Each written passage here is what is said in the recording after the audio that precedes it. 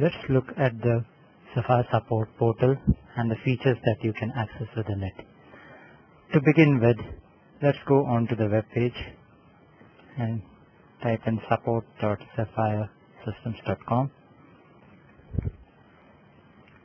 The username and password can be obtained by sending across a mail to our support ID or calling us on our support number 02076482003.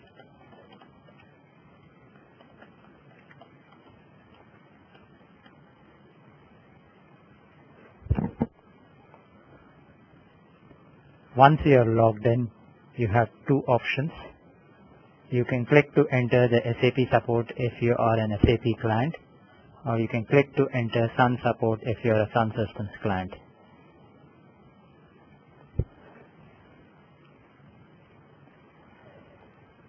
Within the support dashboard that you overlook, you will find that you have different tabs which take you through how to log a support call, how you can view the previous calls, our service level statements, the escalation procedures, the support processes, the different webinar recordings that have been carried out by support consultants, e-learning materials, hints and tips on how to process certain things quickly in the SAP system, the latest patch releases that have been released by Sapphire for their clients post their testing, the upcoming releases, our user days, and links to the different add-ons like Vision, Boyum, and so, so on and so forth.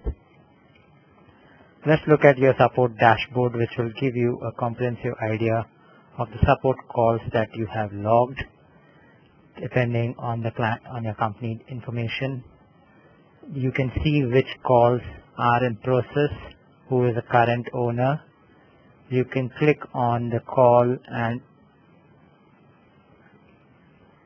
by clicking on the view details option you can look at the different activities that have been processed within this call.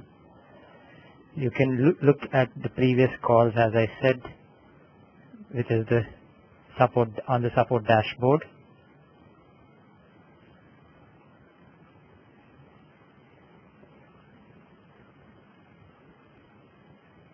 you can figure out whether a call has been open, uh, is still open or is closed and if it is closed and if you're still unhappy about it being closed you might want to call up support and reopen it back.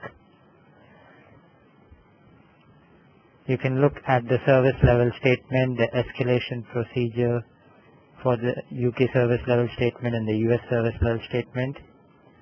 You can look at our support product map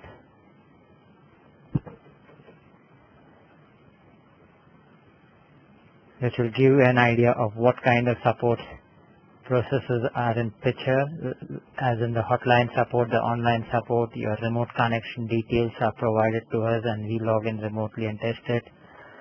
Critical process cover wherein your different levels of cover depending on your depending on the issue it will get covered within a certain specific period of time.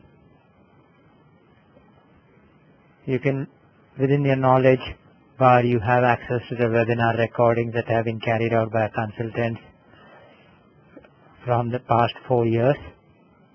You also have access to the e-learning material like the administration, financials in different modules.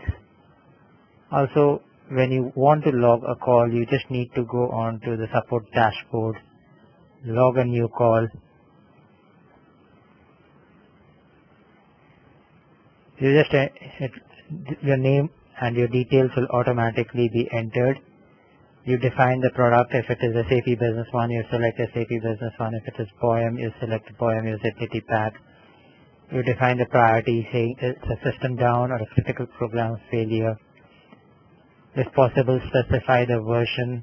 If you have any error messages which you have saved as a JPEG or a GIF file just attach it submit it and the call will be logged into our support portals and one of the consultants will pick it up and get back to you.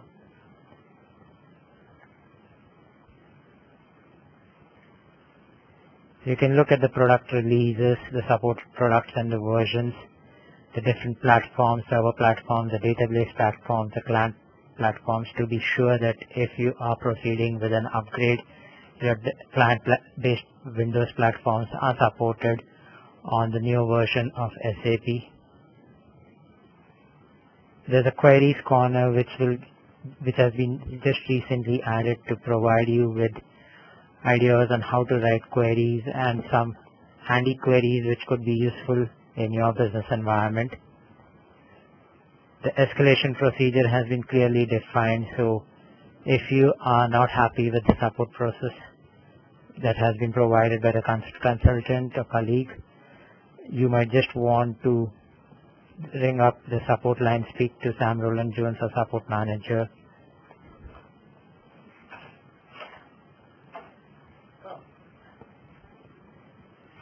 You also have an access to the knowledge base. You can select the knowledge base. You can specify the search terms.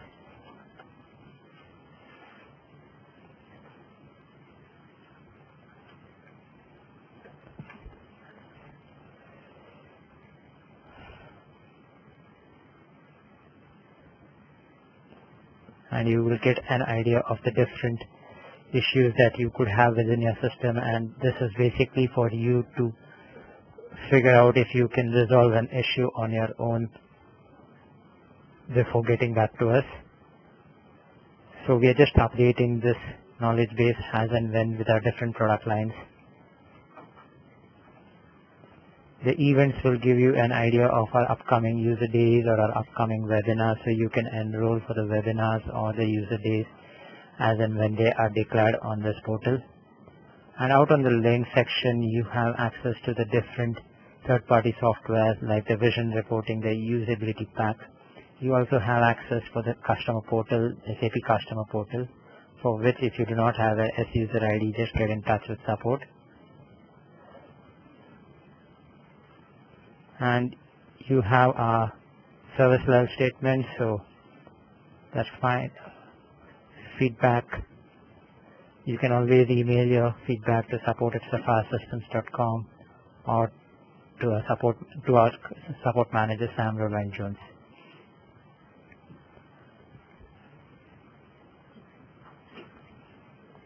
That's it from my end.